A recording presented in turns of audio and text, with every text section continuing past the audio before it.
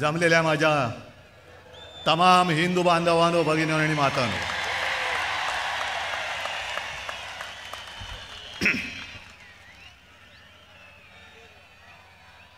विजयादशमीच्या शुभेच्छा देत असताना गेल्या अनेक वर्षाची परंपरा आणि ते दसरा मेळावे माझ्या आजही लक्षात आहेत. पण असा मेळावा फार क्वचित झालेला आहे.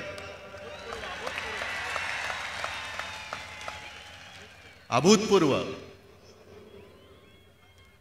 आणि मनापासून सांगतो की मी भारावून गेलेलो आहे.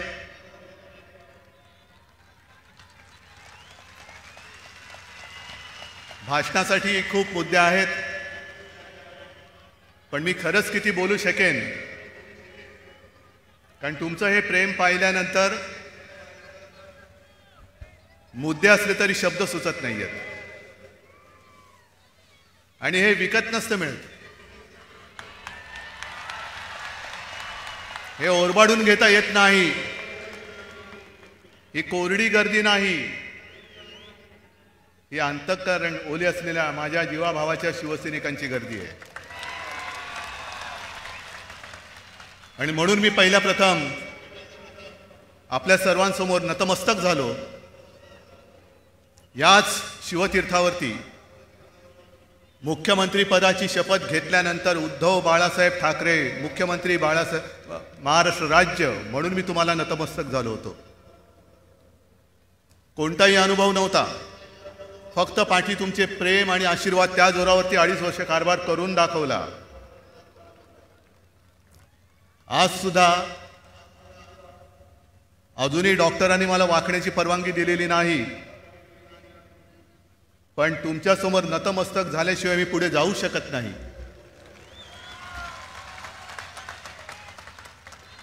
कारण हेच ते प्रेम आहे हेच ते आशीर्वाद आहेत ज्यांनी प्रत्येक वेळेला संकटामध्ये संरक्षक कवच म्हणून सभोवती एक कडं केलं ते माझ्या जे शिवसेना प्रमुख सांगायचं ते आज मी अनुभवतोय. ते माझ्या आई जगदंबेचे जिवंत संरक्षक कवच आहे. ज्या वेळेला आपल्या शिवसेनेमध्ये गद्दारांनी गद्दारी केली होय गद्दारच गद्दारच म्हणणार.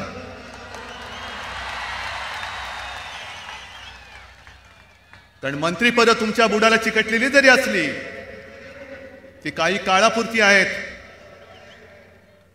पण कपाळावरती गद्दारीचा शिक्का या जन्मी तरी पुसून पुसता येणार नाही. पुसायचा म्हटलं तरी पुसता येणार नाही. गद्दार! त्यावेळेला अनेकांना असा प्रश्न पडला होता की अरे बापरे आता शिवसेनेचं काय होणार? माझ्या मनात चिंता नव्हती. कारण ज्यांनी हे कार्य सोपवलेले आहे तो बघून घेईल. आणि आज हे शिवतीर्थ बघितल्यानंतर पुन्हा त्यांच्या मनामध्ये प्रश्न पडला अरे बापरे गद्दारांचं कसं होणार? इकडे एक सुद्धा माणूस भाड्याने आणलेला नाही. तासाची बोली लावून आणलेला नाही. याच्यापैकी कोणाही माझ्या माता भगिनीला विचारा बांधवांना विचारा बुजुर्ग लोक आलेले आहेत. दिव्यांग लोक आलेले आहेत. गावावरनं पायी चालत लोक आलेले आहेत. आणि त्यांना विचारलं तर ते नक्कीच सांगतील की एकच तिकडे सगळं आहे एक एक एक एकटाच आहे पण इकडे एक अनिष्ठ आहे. एक अनिष्ठ सगळे एवढे माझ्यासमोर बसलेले आहेत. जे शिवसेना प्रमुखाने मला जोडून दिलेलं किती जन्मीचं भाग्य माझं मला माहिती नाही पण आहे खरं आहे ही ही ठाकरे कुटुंबियांची कमाई आहे.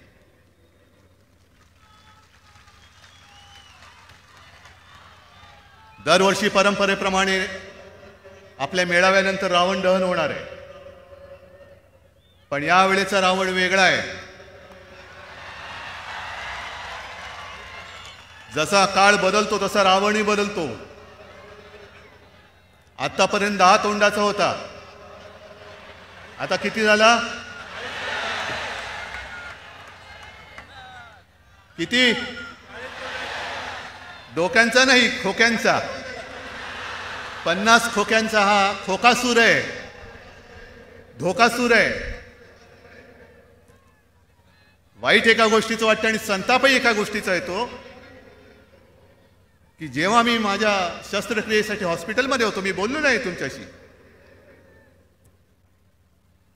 माझी बोटं सुद्धा हालत नव्हती. शरीर पूर्णपणे निश्चल पडलं होतं. त्यावेळेला ज्यांच्यावरती मी जबाबदारी दिली होती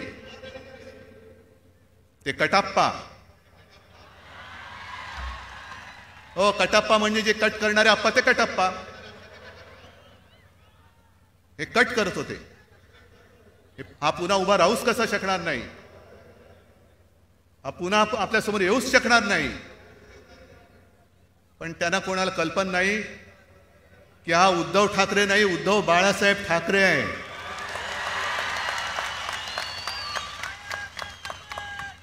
जी शक्ती माझ्या आई जगदंबेने मला दिलेल्या त्या शक्तीशी पंगा घेतलेला आहात देव तुमचं भलं करो. ही धमकी नाही. पण हे तेजाचं जे एक तेजाचा शाप असतो तो या सगळ्या माझ्या तेजाचा शाप आहे तो. आणि विचित्र गोष्ट अशी आहे की ज्यांना आपण सगळ्यांनी सगळं काही दिलं मंत्रीपदं दिली. आमदारक्या खासदारक्या सगळं दिलं. ज्यांना दिलं ते नाराज होऊन गेले. पण मी ज्यांना काही देऊ शकलो नाही पण तुमच्या ताकदीने मी त्यांना दिलं ते आजही माझ्यासोबत निष्ठेने आहेत हे माझं नशीब आहे. आणि शिवसेना प्रमुख नेहमी जे सांगायचे तेच मी आज सांगतो. की ही शिवसेना एकट्या दुकट्याची नाहीये. ही शिवसेना तुमच्या मर्द आणि एकनिष्ठ शिवसैनिकांची आहे. जोपर्यंत तुम्ही माझ्यासोबत आहात तोपर्यंत मी शिवसेना पक्षप्रमुख आहे. आणि तुम्ही ठरवणार आहात मी पक्षप्रमुखपदी राहायचं की नाही राहायचं तुम्ही जेव्हा सांगाल एक जरी निष्ठावंत शिवसैनिक उठून बोलेल गेट आउट मी असाच पायऱ्या उतरून निघून जाईन घरी. पण हे तुमच्यापैकी एकाने सांगायला पाहिजे गद्दाराने नाही. पण काय कमी दिलं त्यानं? बाप मंत्री कार्ट खासदार कोणाचा आमदार पुन्हा डोळे लावून बसले नातू नगरसेवक. अरे त्याला मोठा तर होऊ दे शाळेत तर जाऊ रे आत्ताच नगरसेवक. पण सगळं काही एक एकच माझ्याचकडे पाहिजे. बरं का मी झालो होतो मुख्यमंत्री. का केली महाविकास आघाडी? ही काही लपून ठेवण्याची गोष्ट नाहीये.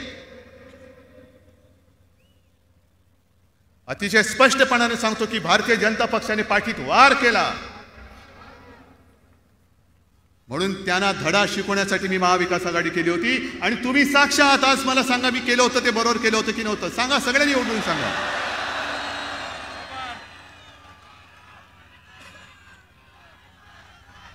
जर मी हिंदुत्व सोडलं असेल तुम्ही मला सांगायचं होय तुम्ही हिंदुत्व सोडलं. हिंदुत्व सोडलं की नाही हे तुम्ही मला सांगायचं सोडलं मी हिंदुत्व? पण जेव्हा मी मुख्यमंत्री पदाची शपथ घेतली त्यावेळेला त्या पहिल्या सात जणांमध्ये मी त्याचाही मान राखला होता. तेव्हा माहिती नव्हतं बाजूला काँग्रेस आणि राष्ट्रवादीवाले मांडीला मांडी लावून बसले का बोलताना स्वतःची दाढी स्वतःच्या तोंडात जात होती? घेतली होती ना शपथ इकडेच.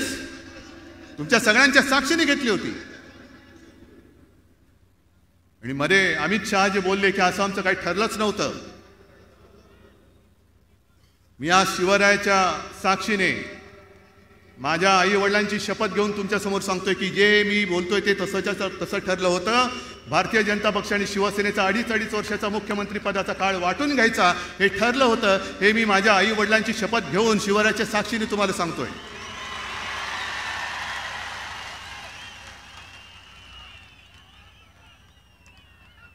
मग आज जे तुम्ही केलं आहात हेच तर तुम्हाला मी सांगत होतो.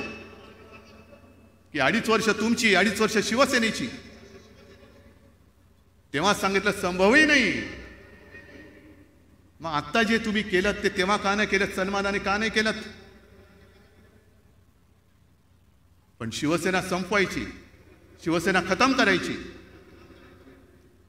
आणि नुसतं एवढ्यावरतीच नाहीये. माणसाची हाव किती असते? अरे इतरांना बाजूला सारून तुला तिकीट दिला आमदार केला मंत्री केला. आता मुख्यमंत्री झाला तरी शिवसेना पक्षप्रमुख शिवसेना प्रमुख व्हायचं आहे शिवसेना प्रमुख स्वीकारणार त्याला तुम्ही? आहे लायकी पण एक तर स्वतःच्या वडिलांच्या नावाने मतं मागण्याची हिंमत नाही. बाप चोरणारी अवलाद अरे स्वतःच्या वडिलांचा तरी विचार करायचा होता की त्यांना काय वाटेल की काय दिवट काट माझ्या जन्माला आलं हे माझ्याऐवजी दुसऱ्याच्या वडिलांचं नाव लावते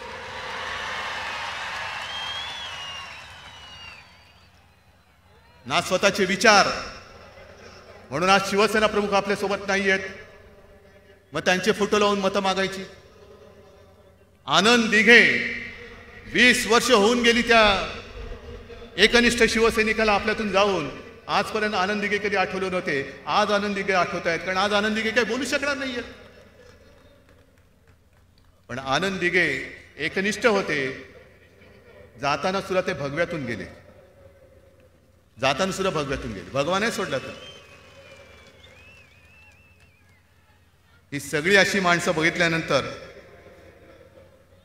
बोलायची थोडी पंचायत काय होते? कारण आपले माननीय उपमुख्यमंत्री देवेंद्रजी फडणवीस त्यांना कायदा चांगला कळतो. आता हा काय मी टोमणा मारलेला नाही. हा काय मी टोमणा नाही मारलेला. सभ्यगृहस्थ आहेत. देवेंद्र फडणवीस. मी मारलाय टोमणा? हा टोमणा नाही मारला मी. नाही ते म्हणतात की उद्धव ठाकरे नुसते टोमणे मारतात. अहो तुमचं चांगलं मी बोलतोय की सभ्य माणूस आहे. याला कायद्याचं कळतं. हा उपमुख्यमंत्री आहे. ह्याच्यात काय टोमणा मारला? महाराष्ट्राचे मुख्यमंत्री होते. जाताना बोलून गेले होते की मी पुन्हा येईन पुन्हा येईन. दीड दिवस आले. दीड दिवसात विसर्जन झालं. आणि मनावरती दगड ठेवून उपमुख्यमंत्री म्हणून पुन्हा आले. मी टोमणा मारला? मी खरं बोलतोय मी कुठे टोमणा मारतोय? पण पुन्हा आल्यानंतर आज ते म्हणतायत की कायद्याच्या चौकटीत राहून बोला. नाहीतर कायदा आपलं काम करेल. देवेंद्रजी तुम्ही गृहमंत्री आहात. कायदा तुम्हालाच कळतो असं म्हण नाही आम्हाला सगळ्यांना कायदा कळतो. आणि कायदा पाळायचा असेल तर तो सगळ्यांनी पाळायला पाहिजे. आम्ही कायदा पाळायचा आणि तुम्ही ही डुकरं पाळायची. हे नाही चालणार. काय कायद्याच्या चौकटीत बोलायचं? जे मिन्ने गटाचे आमदार त्यांच्यासोबत गेलेत.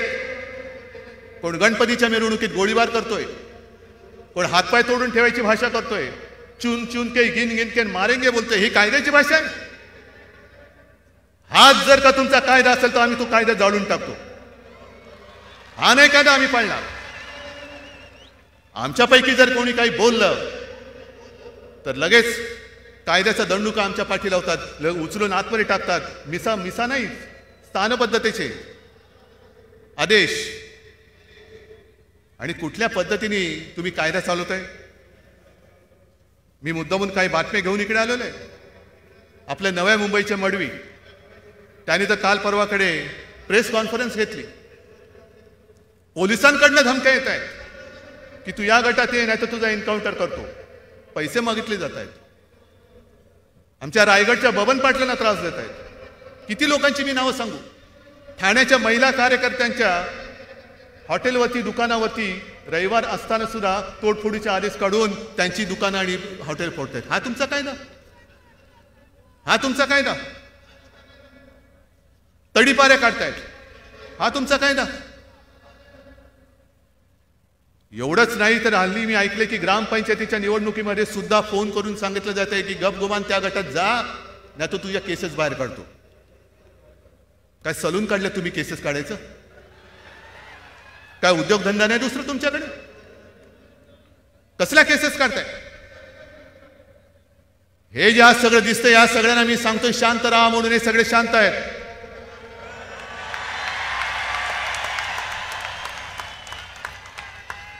आणि जोपर्यंत शांत आहेत तोपर्यंत त्यांना शांत राहू द्या पिसाळ्याला लावू नका. जर माझ्या शिवसैनिकावरती अन्याय कराल तर तो आम्ही कदापि सहन करणार नाही. तुमचा कायदा वगैरे तुमच्या मांडीवरती तुम्ही कुरवळत बसा. पण एकतर्फी कायद्याचा वापर आम्ही होऊ देणार नाही. आज तिकडे जे काय चाललेलं आहे इकडे मी म्हटलं ना की इकडे हा जिवंत मेळावा आहे. आणि तिकडे सगळे रडगाणी आहेत. कसा सगळं मिळून सुद्धा कसा अन्याय झाला कसा अन्याय झाला कसा अन्याय झाला. ग्लिसरीनच्या बाटल्या गेल्यात तिकडे खूप. खूप ग्लिसरीनच्या बाटल्या गेलेत शिवसेना कशी चालवायची? हिंदुत्व कसं पुढे न्यायचं? हे तुम्ही मला शिकवण्याची गरज नाहीये. आणि भाजपवाल्यांकडनं तुम्ही हिंदुत्व शिकण्याची शक्यताच नाहीये गरजच नाहीये. मी मागे सुद्धा बोललेलं आहे की हिंदुत्व म्हणजे धोतर नाही की पाहिजे तेव्हा नेसलं आणि पाहिजे तेव्हा सोडलं. आम्ही भारतीय जनता पक्षाची साथ सोबत सोडली म्हणजे हिंदुत्व सोडलेलं नाही आज सुद्धा आम्ही हिंदूच आहोत. उद्याही हिंदूच असणार मरू तेव्हा सुद्धा हिंदूच असणार. पण भाजपाने आमच्या हिंदुत्वाचे शिंतोडे उडवायचे. कोणाच्या तरी थडग्यावरती जाऊन मग काढायचं की हे थडगं बघा कसं सजवलं ते थडगं कसं. अरे पाकिस्तानात जाऊन जिनाच्या थडग्यावरती डोकं टेकवणारे तुमच्या पक्षाची आवला तुमच्याकडनं आम्ही हिंदुत्व शिकायचं. पाकिस्तानच्या नवाज शरीफच्या वाढदिवसाला न बोलवता जाऊन केक खाणारा तुमचा नेता आणि तुम्ही आम्हाला हिंदुत्व शिकवणार? काश्मीरमध्ये सत्तेच्या लोभापायी आतंकवाद्यांशी संबंध असणाऱ्या त्या मुफ्ती बरोबरच्या प- पक्षाची तुम्ही साठोलोट करणार आणि तुम्ही आम्हाला हिंदुत्व शिकवणार? कोण कोणी कोणाला हिंदुत्व शिकवायचं? हिंदुत्व हे खणखणीत असलं पाहिजे. पण हिंदुत्वावरती मी बोलणार आहेच. पण त्याहीपेक्षा एक महत्त्वाचा विषय आहे. तुम्ही नुसतं हिंदुत्व हिंदुत्व करत गायीवरती बोलताय ना? महागाईवरती बोला. नुसतं गायीवरती बोलताय गाई गाई अरे महागाई महागाईनी सगळं जग होरपळते देश होरपलतोय पण ह्या वेदना तुम्हाला जाणू नयेत. म्हणून मग हिंदुत्वाचा डोस द्यायचा. जर तुम्ही गेलात मंत्र्यांकडे गॅस महागला भाज्या महागल्या डाळी महागल्या अमुक महागलं तमुक महागलं जय श्रीराम. जय श्रीराम मी बोललो ना हृदयात राम आणि हाताला काम पाहिजे. हाताला काम पाहिजे. पण महागाईवरती बोलत नाही. मी मुद्दामून अभिनंदन करतो. आर एस एसचे ते होसबाळे. होसबाळे होसबाळेजी आपली कधी भेट झालेली नाही. पण मी तुमचं अभिनंदन करतो सगळ्यांच्या साक्षीने अभिनंदन करतो. कारण तुम्ही संघाला आणि भाजपाला आरसा दाखवण्याचं काम केलेलं आहात खरंच त्यांना धाडस पाहिजे आणि होजबाळेने धाडस केलेलं आहे. वाढती बेकारी गरिबी आणि विषमता याच्यावरती त्यांनी होजबाळेनी त्यांना आरसा दाखवलेला आहे. आशा एकच आहे आरसा दाखवल्यानंतर काहीतरी सुधारणा होईल नाही तर स्वतःच भांग पाडत बसतील. बोला ना महागाईवरती बोला बेकारीवरती बोला. बरं हे केव्हा बोलले? ज्या वेळेला आपले माननीय पंतप्रधान नरेंद्रजी मोदी हे फाईव्ह जीच्या कार्यक्रमामध्ये आपल्या देशाचं कौतुक करत होते. कौतुकी करायला पाहिजे. की आपला देश कसा पुढे चाललेला आहे. त्याच्या दुसऱ्या दिवशी होजबाळ्याने त्यांना आरसा रोखला देश पुढे चाललाय असं वाटतं पण तुम्ही बघा. उलट्या दिशेने नाही ना चालला देश. रुपया घसरत चाललेला आहे. या सगळ्या गोष्टी मी बोलतोय कारण कोण बोलणार नाही तर? हा माझा दसरा मेळावा जो आहे हा ही परंपरा ही पवित्र परंपरा आहे. भास्करराव तुम्ही बोललात किंवा बोलला नाही ते बरं झालं. कोंबडी चोरावरती ह्या मेळाव्यात नाही बोलायचं. बाप चोरांवरती या मेळाव्यात जास्त नाही बोलायचं. ही आपली एक विचारांची परंपरा आहे. व्यासपीठाला एक अर्थ आहे एक पावित्र्य आहे. ही सगळी लोक एवढी येतात. आलेत प्रेमाने आलेत. माझ्यासाठी आलेत. उद्धव ठाकरेंचे विचार ऐकल्या काय? उद्धव ठाकरे विचार काय देणार? शिव्या देणं खूप सोपं असतं. पण विचार देणं फार कठीण असतं. आणि मी ती परंपरा पुढे नेण्याचा प्रयत्न करतोय. मी ती विचार विचारांची परंपरा पुढे नेण्याचा प्रयत्न करतो ज्या वेळेला मोदी सरकार आलं होतं दोन हजार चौदा साली तेव्हा रुपयाचा भाव डॉलरच्या तुलनेत काय होता? आज किती झाला? आणि त्यावेळेला मला आठवत आहे सुषमा स्वराज भाषण करत होत्या संसदेत त्यांनी केलेलं भाषण आहे की मला टी व्ही लावायला भीती वाटते की रुपयाचा भाव आणखीन किती खाली आलेला आहे. आजही लोकांचं तेच आहे रुपयाचा भाव म्हणा टी व्ही लावायला भीती वाटते की पटकन मोदी येतील आणि काहीतरी बोलतील. पण तेव्हा काय भाव होता आता ऐंशीच्या वरती गेलेला आहे. शंभरी पार करेल. आणि सुषमा स्वराज बोलल्या होत्या की ज्या देशाचं चलन घसरतं रुपया जेव्हा घसरतो तेव्हा नुसता रुपया नाही घसरत तर देशाची पत सुद्धा घसरत असते. माझ्या देशाची पत घसरते आहे.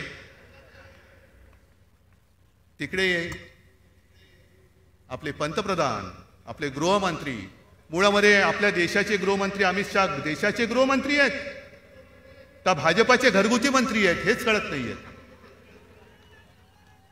नुसतं या राज्यात जा त्या राज्यात जा काण्या घाल हे सरकार पाड ते सरकार पाड.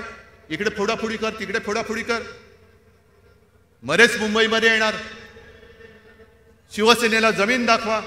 बघा ना आम्ही जमिनीवरतीच बसलेलो आहोत. आम्ही जमिनीवरचीच माणसं आहोत. पण आज त्यांना मी सांगतो जसं मी तिथे आव्हान दिलं होतं तसं आज सुद्धा आव्हान देतोय. आम्हाला जमीन बघायचीच आहे. अमित शहाजी आम्हाला जमीन दाखवा. पण ती पाक व्याप्त काश्मीरची जमीन पुन्हा आपल्या देशामध्ये आणलेली जिंकून दाखवा. हिंमत असेल तर एक फूट जमीन तुम्ही जिंकून ती जमीन आम्हाला दाखवा. ही जमीन आमचीच आहे. आमची मातृभूमी आहे. पण सात वर्ष झाली आठ वर्ष झाली. मोदींच्या त्या मुलाखती आजही ऐकतो आम्ही. पाकिस्तान को उसी की भाषा में उत्तर देना चाहिए. कोणती भाषा? पाक व्याप्त काश्मीरमधला एक इंच सुद्धा तुकडा तुम्ही परत घेऊ शकलेला नाही आहात. चीन घुसलेला आहे अरुणाचल घुसतोय लडाखमध्ये घुसतोय लेहमध्ये घुसतोय. जा ना ती जमीन घेऊन दाखवा. दाखवा आम्ही तुम्हाला डोक्यावरती घेऊन नाचू. हे कशाला पाहिजेत गद्दार? आम्ही घेतो नाचतो तुम्हाला. मागे नाचत होतो तसे. गद्दारांच्या पालखीत बसून कशाला मिरवताय मिरवणुका? हे माझे सैनिक आहेत. हे घेऊन तुम्हाला नाचतील खांद्यावरती. जर तुम्ही काश्मीर व्याप्त पाक व्याप्त काश्मीर जिंकून दाखवलं तर. पण तिकडे शेपट्या घालायच्या. आणि इकडून पंजे काढायचे ही काय मरदुमकी आहे?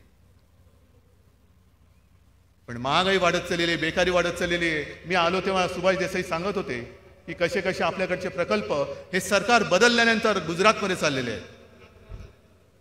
आम्हाला गुजरातबद्दल असूया नाहीये. मुंबईमध्ये सुद्धा महाराष्ट्रामध्ये सुद्धा अनेक गुजराती आहेत. काही तुमच्यासोबत असतील काही आमच्यासोबत आहेत. पण सगळेच काही कामाला गुजरातमध्ये नाही जाणार. जे उद्योगधंद्यासाठी मुंबईत आलेले आहेत महाराष्ट्रामध्ये आलेले आहेत. मग त्या गुजरातांनी काय करायचं? मोठमोठे प्रकल्प सगळे गुजरातमध्ये चालले आहेत. आणि हे मिंदे सरकार हे खाली माना घालून बसलेत. नाही तो पुष्पा आला ना झुकेगा नाही साला। आणि हे म्हणतात उठेगा नाही साला। जे एक बार झुकेगा ना तो उठेगाच नाही। गेल्या मला वाटतं त्या उद्या परवाकडे शंभरी भरते यांच्या सरकारची. म्हणजे शंभर दिवस होत आहेत.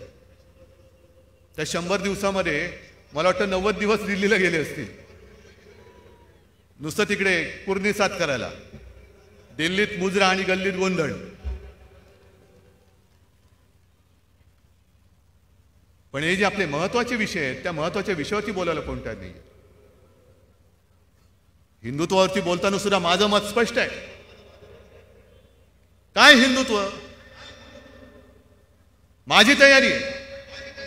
चला एकदा सगळे जेवढे जेवढे तथाकथित हिंदुत्ववादी आहेत ना त्यांनी एका व्यासपीठावरती यावं त्यांनी त्यांचं हिंदुत्व सांगावं मी माझं वडलोपार्जित हिंदुत्व त्यांना सांगतो. मुळामध्ये तुमचं हिंदुत्व नेमकं कशाशी जोडलेलं आहे?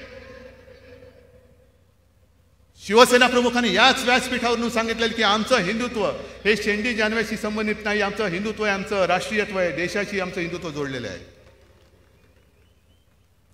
मग असं जर असेल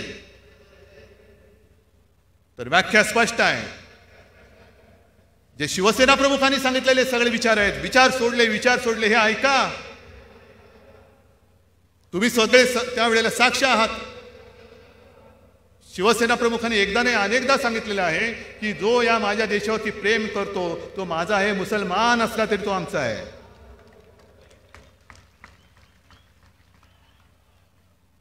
प्रत्येकाने आपापला धर्म आपल्या घरात ठेवावा. घराबाहेर पाऊल टाकल्यानंतर हा देश हाच माझा धर्म ही शिकवण मला शिवसेना प्रमुखांनी दिलेली आपल्या सगळ्यांनी दिलेली आहे. हां पण आम्ही त्या तयारीने बाहेर पडल्यानंतर जर कोणी त्याच्या धर्माची मस्ती रस्त्यात आमच्याशी करायला लागला तर मग आम्ही तडवट देशाभिमानी हिंदू म्हणून त्याच्यासमोर उभं राहिल्याशिवाय राहणार नाही. नुसती जपमाळ ओढणारा नुसतं हिंदू होऊ शकत नाही. समजा तुमच्या हातामध्ये जपमाळ आहे आणि समोर अतिरेकी स्टेन घेऊन घेऊन उभा राहिला तर राम राम राम राम करून अतिरेकी पडणार नाही. जर त्याच्या हातात स्टेनगन असेल तर तुमच्याही हातामध्ये स्टेनगन असायलाच पाहिजे. हे शिवसेना प्रमुखांचं हिंदुत्व आहे. आणि म्हणून माझा त्यांना प्रश्न आहे की तुमचं हिंदुत्व नेमकं आहे तरी काय? इतर सर्व धर्मीय हे देशद्रोही असं तुमचं हिंदुत्व आहे? का देशप्रेमी कोणी असला तरी तो माझा आहे हे तुमचं हिंदुत्व आहे?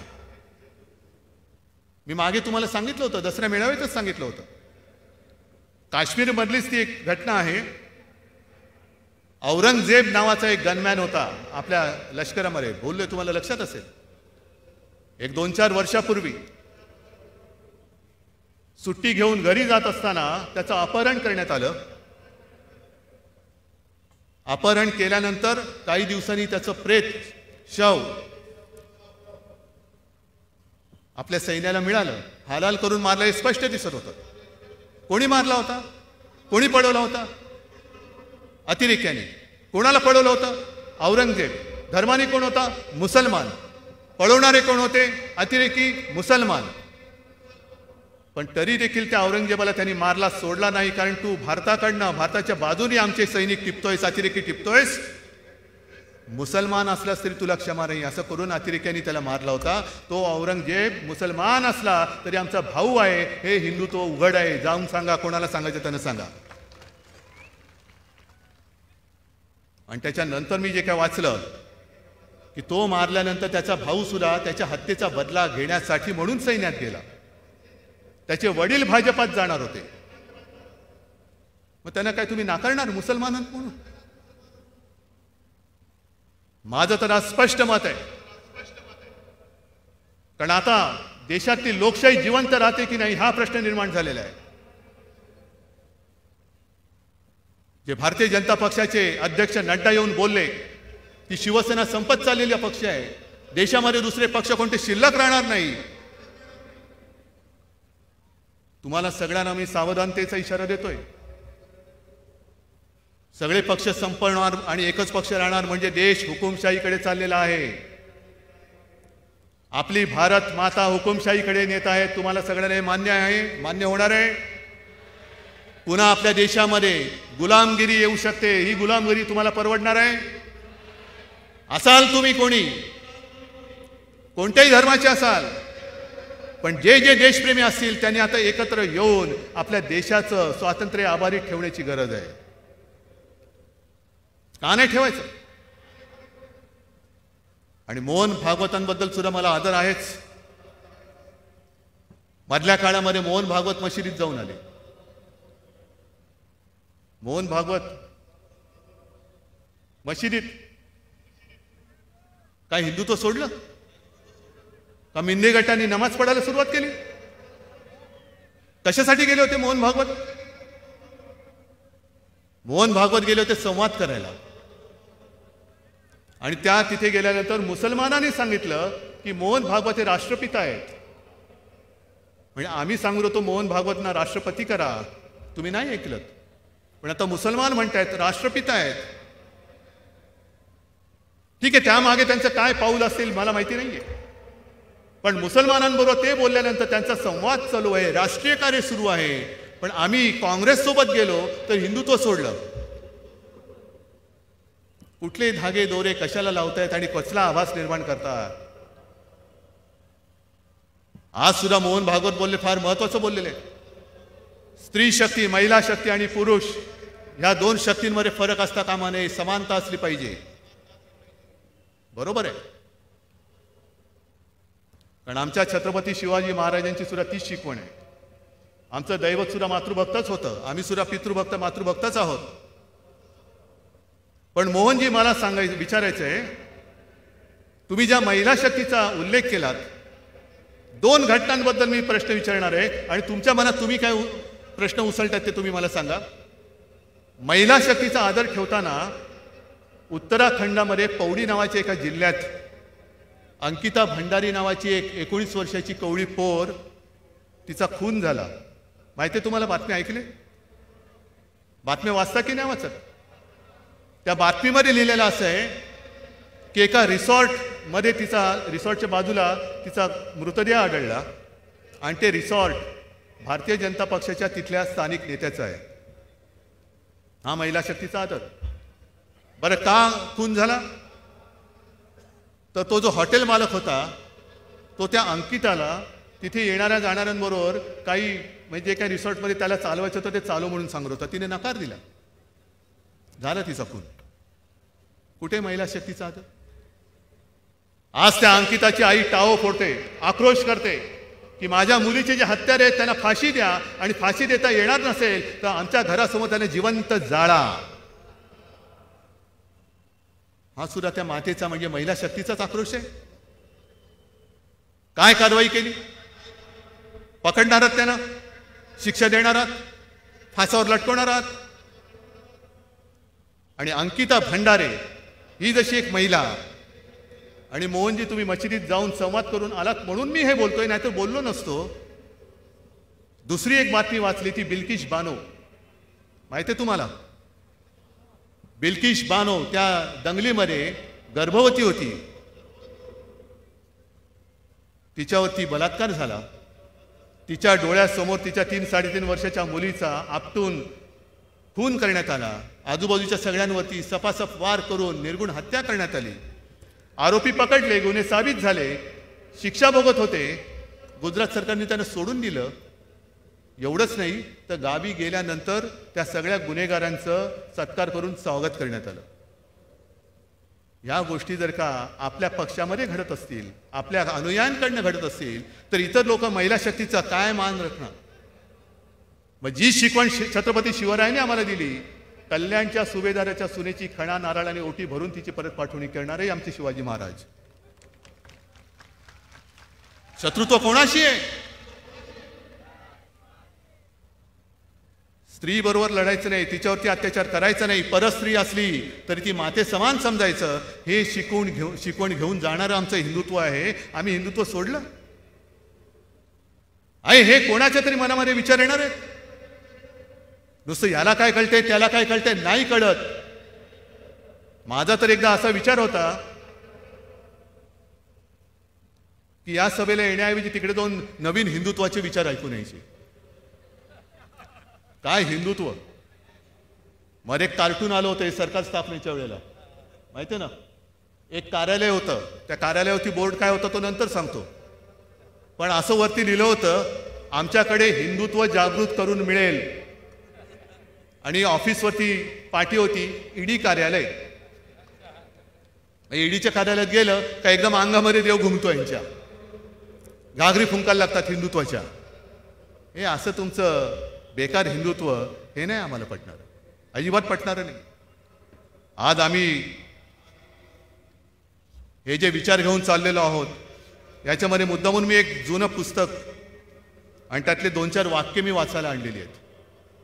सध्या जे काय चाललेलं आहे मी मध्ये सहज जे रोज शिवसैनिक येत असतात घरी भेटायला त्यांच्याशी बोलताना सहज बोलून गेलो होतो तोतयाचे बंड. आताच्या पिढीला कदाचित तोतये म्हणजे काय हे सुद्धा माहिती नसेल. तोतये म्हणजे डुप्लिकेट. डुप्लिकेट. म्हणजे पूर्वी एक नाटक होतं तो मी नव्हेच. हे उलट आहे. हा हा मीच. तो मीच. म्हणजे काय? की इतिहासामध्ये युद्धामध्ये जी माणसं किंवा सरदार मारले गेले त्यांचे डुप्लिकेट मीच तो म्हणून परत जायचे. आणि परत गेल्यानंतर आश्चर्य म्हणजे असं की लोक त्यांना स्वीकारायचे कारण हुबेहूब तेव्हा काय फोटो बिटो नसतील. त्याच्यामुळे गेला की तो तसाच वाटायचा. पण हे आता जे सगळे तोते चाललेले आहेत तिकडे की आम्हीच जणू काही बाळासाहेब ठाकरे. त्यांच्यासाठी मी सांगतोय की नची केळकर त्यांनी लिहिलेलं एक तोतयाचे बंड म्हणून एक नाटक आहे. ते नाटक फार वेगळे पण त्याच्या प्रस्तावनेत त्यांनी लिहिले की तोतयगिरीची कपटविद्या फार जुनी आहे. प्रत्यक्ष परमात्मा श्रीकृष्ण वासुदेव याचा तोतया निघाल्याचे वर्णन सुद्धा आलेलेच आहे. सर्व जगात मनुष्य स्वभाव एकच प्रकारचा असल्यामुळे तोतेगिरीची उदाहरणे प्रत्येक देशाच्या इतिहासात सा सापडतात यात नवल नाही. मराठ्यांच्या इतिहासातील तोत्या संबंधाने वासुदेव शास्त्री खरे हे आपल्या अधि अधिकार योग पुस्तक लिहितात. तोत्यासारखे ढोंग करणारे लोक पुढे आले म्हणजे त्यांच्या बोलण्यावर डोळे मिटून विश्वास ठेवणारे हजारो अडाणी लोक त्यांना भेटतात. मोठमोठ्या शहाणे म्हणवणाऱ्यांच्या अकला या कामी वेळोवेळी गुंग झालेल्या आहेत. आपल्या कोणाच्या म गुंग झाल्यात? जसं रावणाने एक संन्यासाचं रूप घेऊन सीताहरण केलं होतं. तसं हे तोतय बाळासाहेबांचा चेहरा लावून आपली शिवसेना पळवायला आलेले आहेत. पळवू देणार आहात तुम्ही? पळवायला देणार आहात? बरं किती ओर वाढायचं ही आपली परंपरा शिवाजी पार्क मिळू नये म्हणून हे मागे लागले. बरं कोर्टात जाऊन मिळाल्यानंतर या मुख्यमंत्र्यांचं स्टेटमेंट आहे की जर मी लक्ष घातलं असतं तर यांना हे मैदान मिळालं नसतं. काय बापाची पेंड आहे तुमच्या?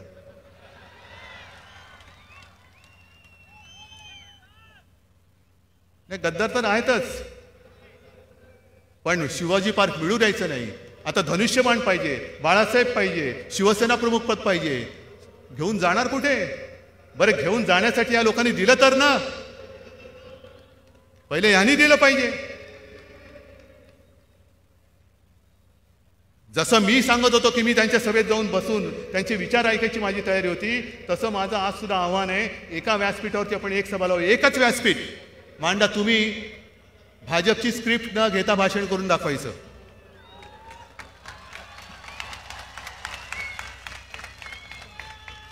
कारण तुम्ही मी मुख्यमंत्री असताना खूप नाही पण एक चार पाच प्रेस कॉन्फरन्स झाल्या आणि त्या तुम्ही पाहिल्या असाल. माझ्या बाजूला उपमुख्यमंत्री अजितदादा बसायचे. कधीही माझ्या समोरचा माईक त्यांनी खेचलेला नव्हता. कधी माझ्या कानामध्ये त्यांनी माझं उत्तर सांगितलेलं नव्हतं. अगदी मान सन्मान देऊन मुद्दामून सांगतोय. काँग्रेस आणि राष्ट्रवादीवाल्यांनी मान सन्मान देऊन अडीच वर्ष आपल्याला सोबत केलेली आहे. आणि जेव्हा सरकार स्थापन झालं तेव्हा अनेक जणांनी सांगितलं ते काँग्रेस बघा काहीतरी गडबड आहे. आणि शरद पवार तर तुम्हाला माहिती आहेत. नीट लक्ष ठेवा. अडीच वर्ष त्यांच्याकडे बघता बघता हेच निघाले. मग गद्दार कोण? बरं हिंदुत्व आम्ही सोडलं म्हणता का? तर आम्ही केवळ काँग्रेस सोबत गेलो म्हणून.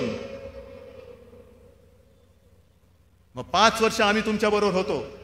त्या पाच वर्षामध्ये सुद्धा कसे जाऊन अशोक चव्हाणांना भेटले होते हे अशोक चव्हाणांनी गौप्यस्फोट केलेलाच आहे.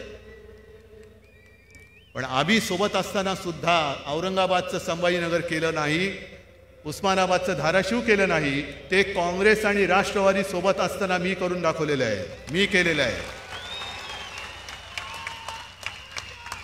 जे शिवसेना प्रमुखांचं वचन होतं ते मी पूर्ण केलेलं आहे. पण दुर्दैवाने त्यावेळेला त्या मंत्रिमंडळाच्या बैठकीमध्ये इतर सगळे दोन्ही पक्षाचे सगळे मंत्री असताना आपल्याकडनं कोण होते? मी सुभाष देसाई आदित्य आणि अनिल परब. आणि हे साक्षीदार आहेत. ज्या क्षणी हा ठराव आला औरंगाबाद शहर आणि जिल्ह्याचं संभाजीनगर नामकरण करण्यात येत आहे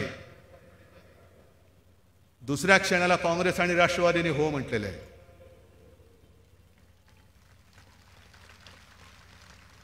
उस्मानाबादचं शहर आणि जिल्ह्याचं नाव धाराशिव करण्यात येत आहे. दुसऱ्या क्षणाला काँग्रेस आणि राष्ट्रवादीने हो म्हटलेलं आहे. मग काय आम्ही हिंदुत्व सोडलं? उलट त्यांना घेऊन आम्ही हिंदुत्व वाढवत होतो. जे काम आम्ही केलं शेतकऱ्यांची कर्जमुक्ती आम्ही केली. आज शेतकऱ्यांच्या आत्महत्या वाढत आहेत आंबा रस्ता करायची तुम्ही बोलला असाल? आत्महत्या वाढायला लागलेल्या आहेत. यांच्या नुसता घोषणांचा पाऊस घोषणांची अतिवृष्टी आणि अंमलबजावणीचा दुष्काळ असं हे सरकार आहे. आणि म्हणून मला चिंता नाहीये. मी लढणाऱ्या पित्याचा लढणारा पुत्र आहे. शिवसेनेच्या पहिल्या दिवसापासून मी शिवसेनेवरती आलेली संकट बघत मोठा झालेलो आहे. आज सुद्धा माझ्या हातामध्ये काही नाहीये. माझ्यासोबत चालायचं असेल तर निखाऱ्यावरनं चालण्याची तयारी पाहिजे. तयारी आहे तुमची? वाटेमध्ये काटे असतील खडे असतील टोचतील पाय रक्तबंबाळ होतील. चालणार आहात? मग जसं मी माझ्या पित्यांना शिवसेना प्रमुखांना वचन दिलं की तुम आपल्याला मी शिवसेनेचा मुख्यमंत्री करून दाखवेन तसंच तुम्हाला मी वचन देतोय की तुम्ही साथ सोबत भक्कमपणाने दिलेलीच आहे. ही जी तुमच्या मनातली आग आहे या आगीतून उद्या हिंदुत्वाचा आणि शिवसेनेचा वणवा पेटणार आहे. आणि त्याच्यामध्ये सगळे गद्दार यांची गद्दारी ही त्या रावणासारखी जळून भस्म होणार आहे. तुम्ही साथ आणि सोबत द्या. मी पुन्हा तुम्हाला शिवसेनेचा मुख्यमंत्री करून दाखवेन.